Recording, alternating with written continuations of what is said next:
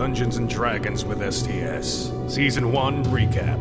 Thrym Dradius, a half elf druid, and Darrow Del Danton, a half elf ranger, meet in a mysterious tavern called the Warrior's Respite. Thrym steals a coin from Darrow. This is their awkward first meeting.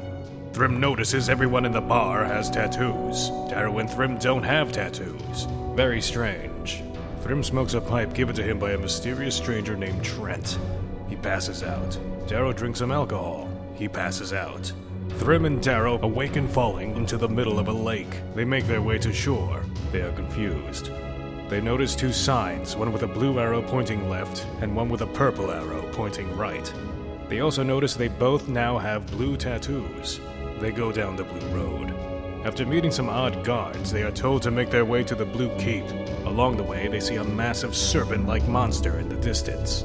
At the keep, a guard named Semi escorts them to see Lord Trent, leader of Blue Faction. They learn many things from Trent. There are two keeps, blue and purple.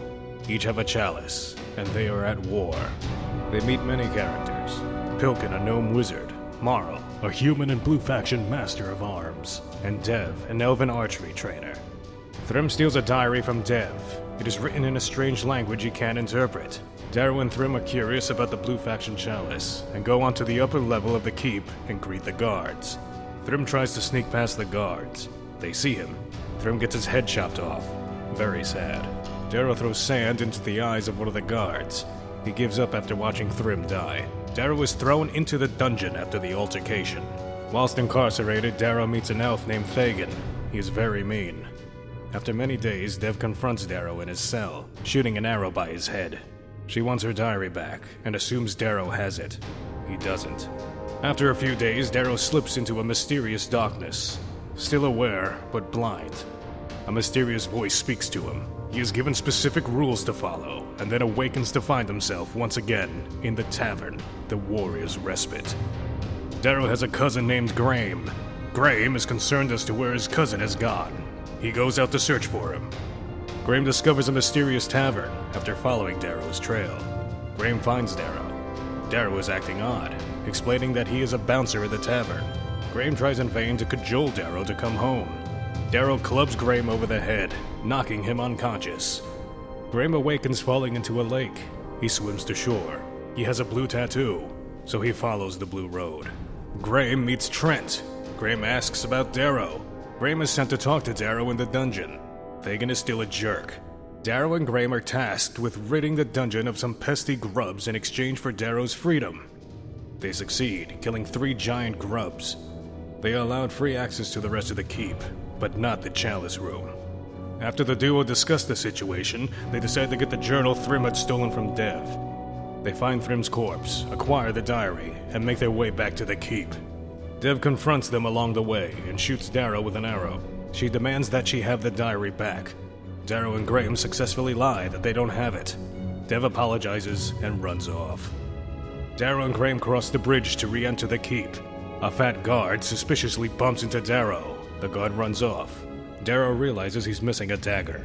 The duo speak to the gnome wizard Pilkin, and after some intimidation, Pilkin gives them a decoder to translate the diary. They also learn the diary belongs to another gnome named Mixlick, Pilkin's brother, and that Mixlick is part of a group of neutrals who stay aloof from the war between Blue and Purple faction. They read the diary and learn the neutrals require some obsidian so they can finish construction of a drill that could drill through some outer wall. Darrow and Graham convince Pilkin to travel with them by helping him find his lost pet rat Finkel. They all leave for the mountains to the north, where they believe the neutrals reside. After entering the mountains, fighting slimes, and avoiding traps, the four find the neutral camp. A neutral thief named Horace joins the party in an effort to help them find an obsidian shard. Rumor has it, a halfling cannibal leader to the south uses one on his spear. They enter the forest, find the cannibals, and succeed their mission.